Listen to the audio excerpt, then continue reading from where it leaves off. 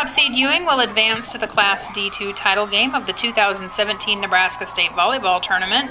The Tigers defeated 4th seed Humphrey St. Francis in four sets 25 23, 29 31, 25 14, 25 20 to earn a spot in the championship match. Ewing will now play third seed Exeter Milligan at 9 a.m. Saturday at the Devaney Center in Lincoln. The Flyers will play in the 11 a.m. consolation match against Hyannis at Lincoln Southeast on Saturday. For more photos, videos, and stories from the tournament, visit NorfolkDailyNews.com.